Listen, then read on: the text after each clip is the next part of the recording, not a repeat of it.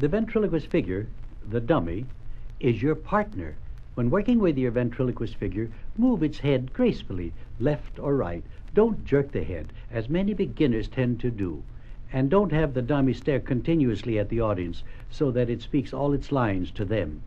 When the dummy is talking to the ventriloquist, it should look at the ventriloquist. And when talking to the audience, it should look at the audience. Never sit sideways to the audience. While they may get a very fine view of your profile, you will be talking to the side of the stage. Doing that, you risk not being heard at all. So face front. Speak your lines facing the audience. But still, you want to look at the dummy when you're talking to it. You can reach a happy compromise between semi profile and front view by having your partner's head just slightly in front of you. Your heads will seem to be side by side, and you will give the impression of looking directly at your partner. But what you are really doing is looking at the dummy out of the corner of your eye. Under any circumstances, when you are using a microphone, it is most important for you to face the mic. Treat your partner as if the dummy were a living person and a good friend of yours. Never leave your ventriloquist figure on the floor or in an open suitcase in view of the audience. And keep this in mind. To get the most out of your ventriloquism, you must try to become a writer of comedy, an actor, and a comedian. Now let us listen to Mortimer Snerd. Notice the fun I have with his stupidity. It is a different style of comedy because his personality is different from Charlie's. Charlie likes to get into trouble. He likes the girls, and while Mortimer is bashful, and I'm afraid stupid, but he has one advantage over many of us. He is stupid, but he knows that he is stupid, and that almost makes him smart. Let's listen.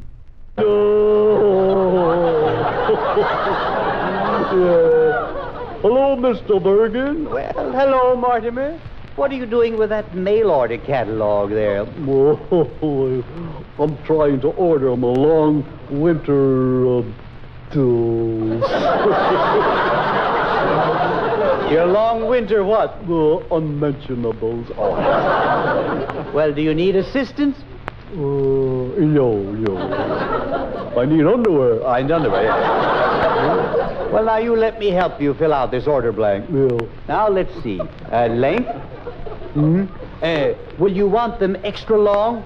Uh, yeah, yeah, yeah. yeah. All winter. All winter, yes. well, I, I have to put down your measurements. So, how long are your legs? Uh, starting at which end? Oh, I... maybe I can find out this way. How tall are you? Well, let me see. I'm, um, well, I'd say I, uh, I reach from, from here clear down to the floor. You know. Well, don't you see, if I get your exact measurements now, Yeah. you'll get a better fit in the end. Well, I want it to fit good all over. Yeah, I know. Oh, Now, uh, do you want long or short sleeves? Uh, yes, sirree. Yes, sirree, what? Well, You don't. what I mean is, where do you want the sleeves to come to? more to me. To you. Now, now they come made of different materials. What kind do you want? Well, the kind that won't shrink when I take a bath. Oh, I see. well, I'll put down flannel. Yeah, yeah. Now, what color? Oh, red. Red. Yeah. No. Yeah. White is most popular. Why do you want red? Well, it's it's prettier and a lot redder. Yeah, that's right. I'm afraid you're pretty provincial. No, no, I'm ugly Mortimer. I see. well, red flannels are practically obsolete, Yeah. although in previous decades were reputed to possess therapeutic qualities unexcelled in alleviating rheumatic discomfiture.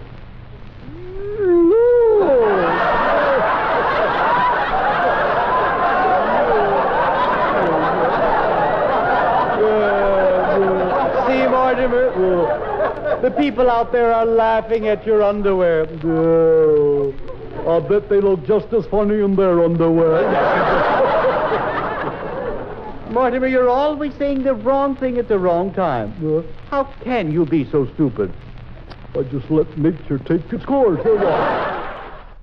Good old Mortimer. I like him. Well, now, I've told you the secrets of voice throwing, and you've heard three comedy routines, so it shouldn't be too difficult for you students to become ventriloquists. Uh, what do you think, Charlie? Well, you, you've told them so many things they they might not know where to start. Well, now, you may have a point there. How do you start?